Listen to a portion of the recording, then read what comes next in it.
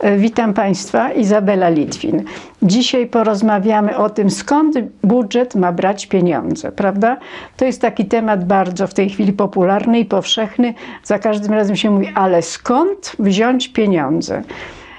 Otóż e, chciałabym dzisiaj powiedzieć Państwu, że to, czy mamy większe czy mniejsze dochody, zależy nie tylko od ilości pieniądza, którą się dodrukuje, czy którą się wyemituje, ale także od szybkości obrotu tymi pieniędzmi. Otóż ta szybkość obrotu jest całkowicie niedoceniana. My musimy patrzeć na to w taki sposób, że jeśli pieniądz krąży szybko, czyli wielokrotnie zmienia właściciela, tak jak Państwo to widzieliście w kręgu obfitości, prawda, to pomimo, że pieniądza jest niedużo, to dochód jest znaczny, bo ilekroć ten pieniądz zmienia właściciela, tyle razy u tego nowego właściciela powstaje dochód, prawda? Więc ten sam pieniądz może tworzyć dochód wielokrotnie. Wielokrotnie. A jaki konkretny przykład y, takiego rozmnażania się pieniądza możemy? Rozmnażania się, tak? No, dajmy na to, tak. mamy to y, 100 zł, które wpuściliśmy do obiegu, Tak. które krąży na przykład bardzo wolno, a Albo mamy krąży drugie bardzo 100 zł i bardzo szybko. Jak to, Jak jak te wygląda? dwie sytuacje można ze sobą zestawić w praktyce? Więc wyobraźmy sobie, że mamy te 100 jednostek pieniężnych do dyspozycji, prawda? I teraz ja kupuję w restauracji obiad za te 100 jednostek. Restaurator za te pieniądze kupuje u rolnika produkty, bo już dostał te pieniądze, więc y, u, u restauratora powstał dochód. Teraz powstaje dochód u rolnika. Teraz rolnik bierze lekcję y, fortepianu, też płaci tymi samymi 100, 100 jednostkami. Teraz y, nauczyciel, który przyjął pieniądze za, za tą grę, y, kupuje powiedzmy usługę fryzjerską. Fryzjer kupuje usługę prawniczą. Prawnik kupuje usługę u lekarza.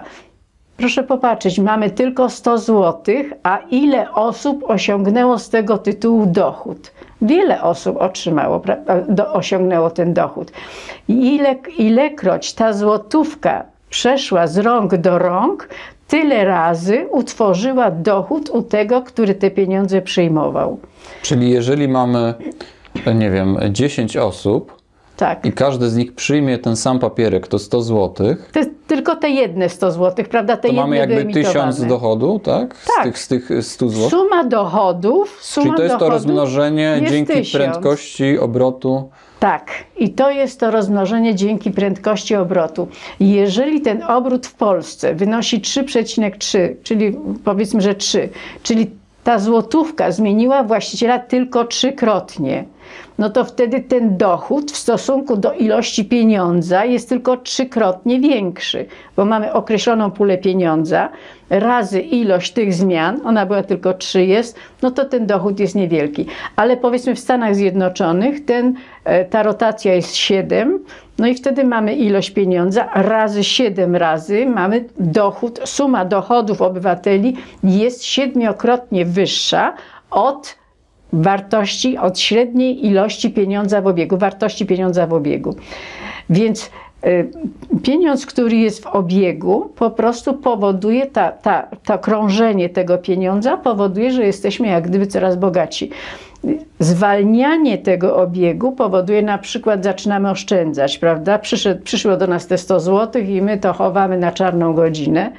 No i w ogóle tu się nic nie kręci. Już nie, nie, ani restaurator nie ma dochodu, ani ten rolnik potem nie ma dochodu, nikt nie ma, bo pieniądz został schowany do materaca. No dobrze, ale są takie narody, Polacy chyba też są trochę takim narodem, że lubią tak sobie oszczędzać i wtedy jakby no, zwalniają ten obrót. Tak, to prawda, tylko że my jesteśmy y, narodem, powiedziałabym, jednak biednym. U nas 20 milionów Polaków nie ma żadnych oszczędności, prawda? Więc y, taki człowiek, który nie ma żadnych oszczędności i nagle dostanie jakąś gotówkę, to z całą pewnością nie będzie tego odkładał, tylko wyda na najważniejsze na potrzeby, prawda? Wiemy o tym, że jak dzieci teraz szły do szkoły, gdyby te pieniądze dostali rodzice przed pójściem dzieci do szkoły, to na pewno te pieniądze byłyby wydane na tą wyprawkę szkolną czy na te inne rzeczy. My po prostu jesteśmy jeszcze biedni i co prawda niby tych pieniędzy e, odłożonych jest dużo, ale to są pieniądze, które mają ludzie zamożni, które są przeważnie na rynkach finansowych i dlatego ten obieg jest taki spowolniony. 20 lat temu ten obieg w Polsce był 6, ten wskaźnik obrotu, prawda? A dzisiaj mamy tylko 3. To jest bardzo niedobre zjawisko. A jak, jak to się mierzy? Skąd my wiemy, że 20 lat temu było 6, a dzisiaj jest y, tylko 3? Y, to mamy te wskaźniki wyliczane są w raportach Narodowego Banku Polskiego i stamtąd można te dane wyciągnąć. Ale jest to oczywiście łatwe do wyliczenia, bo nasze, suma naszych dochodów jest znana, prawda? Bo robimy te pity i prawda, wiemy, jakie mamy dochody w ciągu roku. Równocześnie wiemy także, ile pieniądza jest w obiegu. Więc y, jeśli wiemy, że pieniądza, realnego pieniądza jest tam 300 milionów, prawda, a nasze dochody są około 900, 300 miliardów, a nasze dochody są około 3, 900 y, miliardów, to znaczy to po prostu łatwo wyliczyć. Dochód dzielimy przez ilość pieniądza w obiegu i mamy wskaźnik 3. Y, więc, więc tak to wygląda. Musimy sobie jednak uświadomić, że każdy nasz wydatek powoduje przychód budżetowy, prawda? Jeśli idziemy do sklepu i kupujemy cokolwiek, dostajemy paragon fiskalny i tam jest napisane, że zapłaciliśmy podatku VAT tyle i tyle. I ten podatek VAT trafia do budżetu, bo to jest podatek, typowy podatek konsumencki, chociaż tak się nie nazywa. To samo dotyczy akcyzy. Podatek akcyzowy także wpływa do budżetu. Musimy jeszcze jedno pamiętać, o czym rzadko się mówi, prawda? Każdy rodzaj podatku i opłaty na rzecz budżetu czy na rzecz administracji, każdy rodzaj płacony przez przedsiębiorcę i tak w efekcie jest obciąża, obciąża konsumenta. Dlaczego? Jeżeli przedsiębiorca ma zapłacić jakąś opłatę, na przykład środowiskową czy inną, to on to kalkuluje w cenę, więc po prostu cena jest wyższa. Więc albo płacimy podatek, że widzimy, jak VAT, że jest napisane, że do od tego zakupu od razu taki podatek odprowadzamy, ale równocześnie w cenie zawarte są wszystkie inne podatki. Jeśli sobie z tego zdamy sprawę, to wiemy, że co prawda ja w tym przykładzie, który Państwu przygotowałam, mówię o tym, że 500 zł wypłacone obywatelowi skutkuje, jeśli on wyda te pieniądze, skutkuje wpływem do budżetu w wysokości 100, ale te 100 dotyczy tylko podatku akcyzowego i podatku VAT. Czyli te 100 zł, jakby wpuszczane do każdej y, rodziny, czy dla każdej osoby co tydzień, tak? Tak. I teraz Miałoby budżetu... rozkręcić jakby obrót. Tak, więc chodzi pieniądza. po prostu o to, że pierwsza wypłata jest powiedzmy 500, bo trzeba wyemitować akurat, to ta, ta, ta, granica jest 500, bo te 20% podatku to tak nas zmusza do tego, więc emitujemy emitujemy 500 zł, wypłacamy te 500 zł. Ten wydatek 500 zł skutkuje, wydany przez obywatela, skutkuje wpływem do budżetu wysokości 100 zł. I teraz my co tydzień już te 100 zł, które wpływa do budżetu, jeśli rotacja będzie szybka, prawda, te 100 zł będziemy mogli wypłacać poza emisją. Z budżetu bierzemy, z tego podatku bierzemy i wypłacamy. Dostaje obywatel teraz 100 zł. Znowu wydaje te 100 zł, ale na rynku jest 500, prawda? Bo e, e, wyemitowanych jest 500 zł. On ma dochód w danym miesiącu, w danym tygodniu tylko 100, prawda? Ale na rynku inne podmioty mają resztę tych pieniędzy, więc pieniądz, który jest w obrocie, ten dodatkowy, to jest cały czas 500 zł. I te 500 zł rotując cały czas generuje podatek w wysokości 100. E, a czy to nie jest taka sytuacja troszkę utopijna? Bo mi, mnie się wydaje, że to jest e, bardzo fajny model mhm. w takiej lokalnej społeczności, gdzie jest właśnie szewc, jakiś mały sklepikarz, rolnik. Nie, nie, nie. E, a jeżeli mamy te markety, Aha. które ten dochód te 100 mhm. zł wyprowadzą sobie za granicę, to ona już znika jakby z rynku. Nie, nie. Więc tego niebezpieczeństwa nie ma w tym przykładzie, ponieważ posługuje się tylko tymi dwoma podatkami, prawda? Ja mówię tylko o tych dwóch podatkach. Ani VAT, ani akcyza, wszystko jedno, czy to jest towar polski, czy importowany, ona nie wypływa za granicę. Więc nawet jeżeli ten ojciec czy matka kupią lodówkę, prawda, która jest nieprodukcji polskiej, to płacąc w sklepie VAT, ten VAT wpłynie do budżetu. Więc tu akurat tego niebezpieczeństwa nie ma, ponieważ w moim przykładzie posłużyłam się tylko tymi dwoma podatkami. Gdybym posłużyła się innymi podatkami, no to wtedy rzeczywiście mogło być tak, że te pieniądze by wypływały. Tu jest inaczej, my się ograniczamy tylko do tych wpływów, my wypłacamy pieniądze i do tych wpływów, które e, są z tytułu, z tytułu tych, tych, tych właśnie dwóch podatków.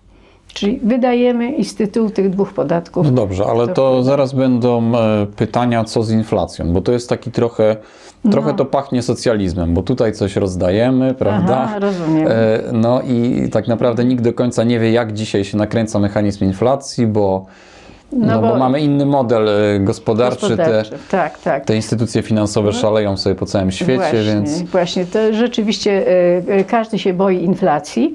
E, I zupełnie niesłusznie, bo inflacja pełzająca, czyli do 6%, jest właściwa i jest wskazana. Po prostu ona nakręca gospodarkę i w inflacji jako takiej, tylko oczywiście pełzającej, nie ma nic złego. Natomiast y, czy grozi nam inflacja? Otóż inflacja powstaje wtedy, kiedy pieniądza u osób, u konsumentów jest więcej niż oferta towarowa. Czyli jeżeli byśmy wpuścili na rynek taką ilość pie- pieniądza, która nie znalazłaby pokrycia w towarach, to wtedy nastąpi inflacja, prawda? Bo mamy za mało towarów i ceny muszą pójść w górę. Natomiast takiej sytuacji w erze obfitości nie mamy, bo my mamy w tej chwili nadmiar towarów, powiedziałam, no może nadmiar to jest złe słowo. Mamy obfitość towarów, prawda? I nawet e, wpuszczenie określonej ilości dodatkowego pieniądza spowoduje po pierwsze, że będą wykorzystane rezerwy, bo te pieniądze pójdą na zakup tych rzeczy, y, które są już w dyspozycji, ale nie są wykorzystywane z powodu braku pieniądza, na przykład y, ilość miejsc w samolotach, ilość miejsc w pociągach, ilość miejsc w kinach, teatrach i tak dalej, prawda? Wszędzie tam, gdzie te miejsca wszystkie nie są zajęte, to dodatkowy pieniądz nie spowoduje inflacji, on spowoduje tylko przyrost przychodów tej jednostki, która to sprzedaje i najwyżej może spowodować obniżenie tych cen, bo jest lepsze wykorzystanie potencjału. To samo dotyczy także artykułów spożywczych, które jeśli pieniądza będzie więcej, to artykuły spożywcze będą sprzedawane i nie będą wyrzucane z powodu przeterminowania. Więc y, y, proszę zwrócić uwagę, że era obfitości, era obfitości zmieniła nasze spojrzenie na inflację i o tym mówił także prezes y, Narodowego Banku Polskiego w Sejmie. Powiedział wyraźnie, że spo, y, powody, dla których powstaje inflacja, są w tej chwili niejasne. Czyli nauka nie potrafi wyjaśnić, kiedy powstaje inflacja. Proszę Państwa, mamy wielką nierównowagę pomiędzy ofertą rynkową, prawda, czyli tym, co producenci i handlowcy oferują do sprzedaży, i pomiędzy zasobami pieniężnymi. Bo jeżeli wydatki nasze konsumenckie stanowią 65% PKB, a nasze dochody stanowią 35% PKB, to znaczy, że my mamy za mało dochodów. Za mało dochodów, żeby kupić te towary. Oczywiście my je kupujemy, prawda? To jest 65, a to jest 35, ale za co kupujemy? Za kredyt. Chodzi o to, żeby pieniądz realny powoli wypierał pieniądz dłużny, żebyśmy nie kupowali za pieniądze, które zarobimy dopiero w przyszłości. Czyli jakby te pieniądze, które teraz e, de facto pakujemy w kredyt, który tuczy bank, Tak. mogłyby tuczyć naszą gospodarkę. Tak, oczywiście mogłyby, tak jak no, ten kredyt w jakiś sposób y, powoduje Bo rozwój kredyt, jest, gospodarki. kredyt przeważnie, szczególnie taki konsumpcyjny, jest bardzo drogi. Tak, jest bardzo drogi i wtedy właśnie te odsetki, to wszystko wypływa z kraju i nie wiadomo kogo tuczy, prawda? Natomiast gdyby to był pieniądz realny, który dostajemy po prostu dlatego, że on się nam należy, bo to jest nasza dywidenda narodowa, dostajemy taki pieniądz, ten pieniądz może powodować dwie rzeczy. Po pierwsze, że ta luka popytowa, czyli te rezerwy, które mamy, będą wykorzystane, a w następstwie, jeśli tych pieniędzy byłoby jeszcze więcej, no to po prostu producenci będą produkować więcej, bo nasze rezerwy produkcyjne, nasze rezerwy świadczenia usług są przecież bardzo duże. Dlatego, tak jak powiedziałam, jest obfitość, właściwie one są nieograniczone. Stosowanie praw ekonomicznych ważnych w okresie przed erą obfitości do ery obfitości jest wielkim błędem. I dlatego my musimy zapomnieć o tamtych prawach, o tym, kiedy powstała inflacja, jak powstawała inflacja i tak dalej. To nie są prawa właściwe dla obecnych stosunków ekonomicznych. Czyli e, te obrazki, które znamy z historii, to Niemcy po I wojnie światowej, że taczkami wypłatę wozili, bo ta po prostu nie, wypłata nie, nie, z dnia na dzień, tak. tak.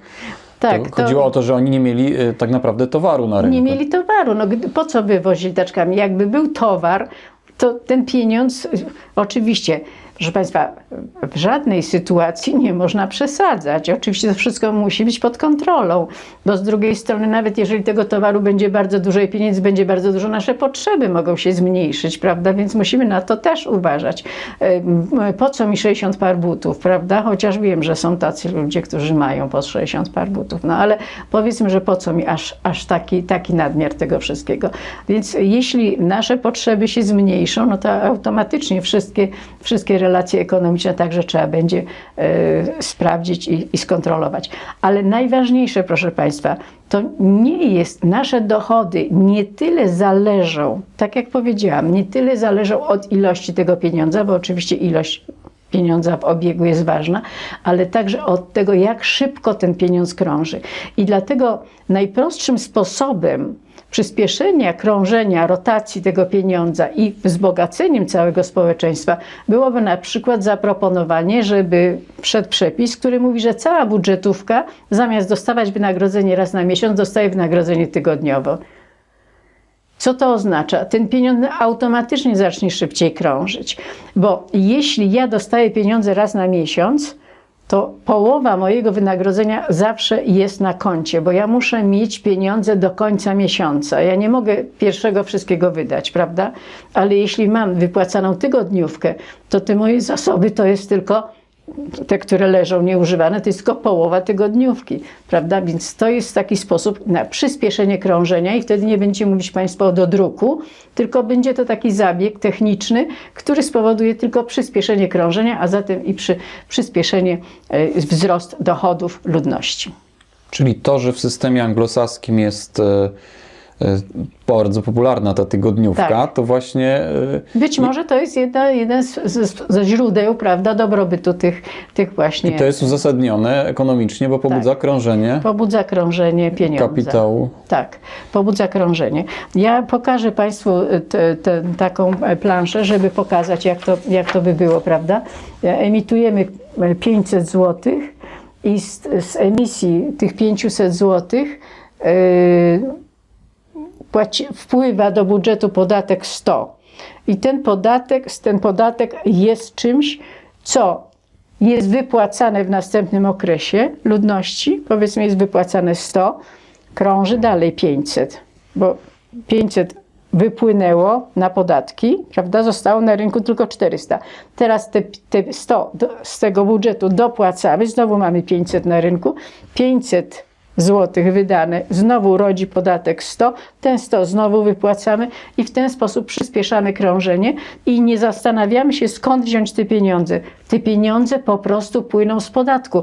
Pierwsza, pierwsza wypłata to jest emisja albo zadłużenie się państwa, więc wy, wypuszczenie obligacji, prawda? To jest ten pierwszy zastrzyk, ale późniejsze krążenie jest pokrywane z budżetu, czyli z, po prostu z podatku, który się rodzi w związku z pieniądzem nowym, który krąży na rynku. Także wyobraźmy sobie, że przyspieszamy krążenie i że te wydatki są w ciągu 7 dni, pieniądze, te 100 zł, które dostajemy, wydajemy w ciągu 7 dni. Czy sobie wyobraźcie Państwo, jak duży byłby dochód, a jak mała, no jak mała kwota wyemitowanych pieniędzy? Proszę sobie to policzyć. Jeżeli wyemitowaliśmy 500, i krążenie jest 52 razy tyle, ile jest tygodni, jaki jest dochód, no, jak duży jest dochód. Fantastyczny, fantastyczny. Zachęcam do takiej zabawy. Mam takie ostatnie pytanie, może na marginesie tego tematu, bo jak mówiliśmy o tym kredycie i tak uświadomiłem sobie, jaki on jest drogi, to przypomniałem sobie, że mój przyjaciel ostatnio mi się zwierzył, że u nich w pracy jest bardzo taka fajna, już trochę zapomniana instytucja kasy zapomogowo Zapomogowo-pożyczkowa. Tak, i to jest tak jakby kredyt bezodsetkowy, Bezodsetkowy. czyli taka pożyczka bardziej bezodsetkowa. E, I tak się zastanawiam, czy państwo nie mogłoby być taką kasą zapomogowo-pożyczkową? Oczywiście, że mogłoby Bo o ile te być. wypłaty małe, to Mhm. pewnie by szły na bieżące wydatki, no ale gdyby ktoś chciał sobie na przykład kupić e, samochód, no to wiadomo, że nie będzie ciłał z tych No tak, małych e, Kwot. kwot, tylko fajnie by było mieć taką tak. Tak, to wtedy pochodzi to z pożyczek, prawda, a nie z kredytu, bo Tak. to są realne pieniądze, które u jednego są Żeby nie tuczyć banków, okresie. tylko żeby państwo było tak jakby proobywatelskie w tym względzie też. Nie wiem, czy to jest możliwe w ogóle. No. Nie, nie, oczywiście, że jest możliwe i to jest idea, która przyświecała powstaniu skoków, bo skoki powstały z kas zapomogowo-pożyczkowych i skoki miały być dostarczaniem pieniędzy bezodsetkowych. Więc idea skoku sama w sobie jest właśnie tą ideą kas zapomogowo-pożyczkowych. Ona się nazywa zapomogowo-pożyczkowa, dlatego te zapomogi, bo te pieniądze, które, które nie były pożyczone tym członkom, prawda, to one były złożone w banku i tam rosły odsetki i te odsetki były przeznaczone na zapomogi dla tych, którzy mieli trudną sytuację. No taka, to, byśmy odrzucili, prawda, bo, bo chcemy w ogóle mieć bezodsetkowy system, E, no ale jednak takie wspomaganie wzajemne jest jak najbardziej właściwe, prawidłowe i tak dalej. Jeszcze jest wiele firm, które mają swoje kasy zapomogowo-pożyczkowe. Są takie firmy, jest Społem na przykład, które prowadzi, nawet emeryci tam dalej należą i wpłacają te po te 100 zł miesięcznie i to na, na, narasta, ta, te oszczędności narastają, ale nie procentują. Ale za to jak jest potrzeba, to jest, wspomagają się. Jak najbardziej e, to jest, e, to jest nasza przyszłość. Taki pieniądz bezodsetkowy. No to cóż, chyba na tym byśmy skończyli to, tą naszą dzisiejszą rozmowę. Mam nadzieję, że Państwo zrozumieli. Jeżeli nie, to mm, proszę zapoznać się z moim artykułem bardziej obszernym na temat właśnie finansowania, e, finansowania takich wypłat, które nie są wypłatami za pracę, na temat finansowania z budżetu e, na stronie Głos Ulicy. Dziękuję bardzo. Ja również dziękuję i takie mam wrażenie po tej rozmowie, że gdyby państwo myślało bardziej o takim pojedynczym obywatelu, to dużo łatwiej by się nam żyło. Ba, ba. Bo mam wrażenie, że państwo dziś myśli bardziej o nas jako jakiejś anonimowej grupie, a tutaj to jest podejście takie bardzo proobywatelskie, czyli No, no, no tak, bo państwo się w ogóle posługuje wskaźnikami średnimi, prawda? A cóż to jest ta, ta statystyka i ta średnia? No jak jedną nogę włożę do piecyka, a drugą do lodówki, to powiem, że jest mi średnio chłodno, prawda? Jest mi bardzo dobrze. A przecież to jest całkowita nieprawda. Więc jeżeli społeczeństwo opisuje się za pomocą statystyk, to nigdy to nie będzie prawda. No tak jak ten mój kolega, kierowca właśnie w tej swojej firmie i ta firma myśli o nich bardziej tak indywidualnie, tak. po ludzku, czy to mają tę zapomogę, czy tą Tak. kasę swoją. To fajnie jakby tak o nas myślało państwo właśnie. To W myślę, taki sposób. piękna idea. Piękna idea. Dziękuję. No to cóż, życzymy wypoczynku. Dziękujemy bardzo.